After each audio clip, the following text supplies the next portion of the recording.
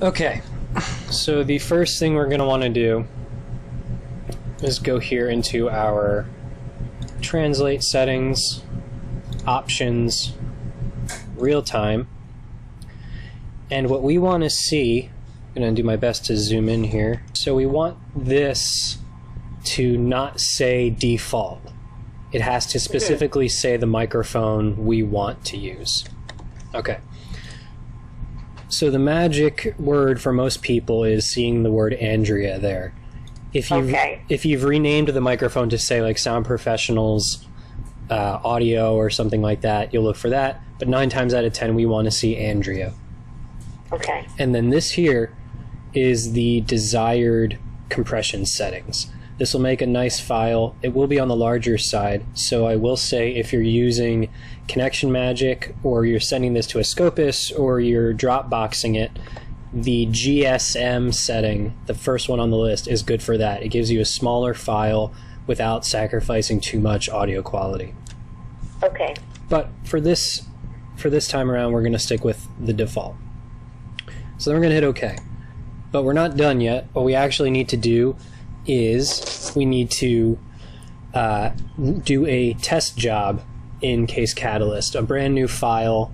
If your writer's plugged in, uh, that'll assist us in this as well.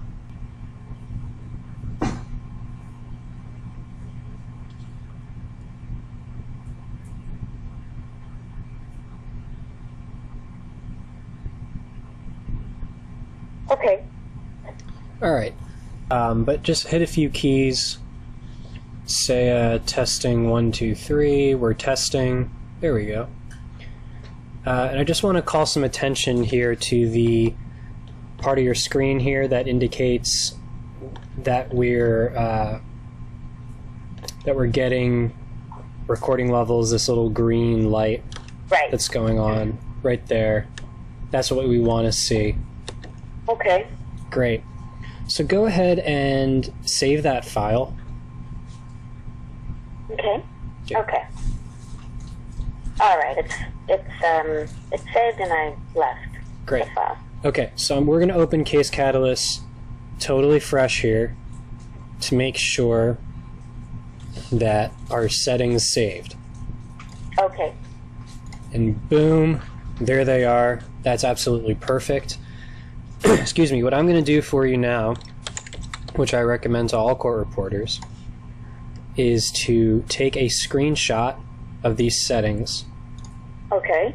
And every time you start a job, even though it sounds tedious, check your settings, compare them with these here, because you want to see this look like that.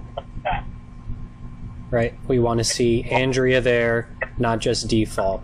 So I'm going to save that for you on your desktop. Call that Sound Pro Case Cat Settings. Okay, so that's saved.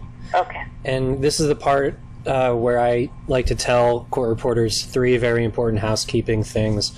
One of them is always plug into the same USB port every time if you can. Interesting. The second thing is to never unplug your microphone while you're running Case Catalyst. And the third thing is to have the microphone plugged in before you open Case Catalyst. Really? Yeah. Because if you open CaseCat without the mic plugged in, CaseCat's not going to know to use that mic. Then you plug in the microphone later, and it won't use the microphone. Oh wow. Okay. Okay. So those are those are the holy trinity. There, they're the important ones. Right. Okay.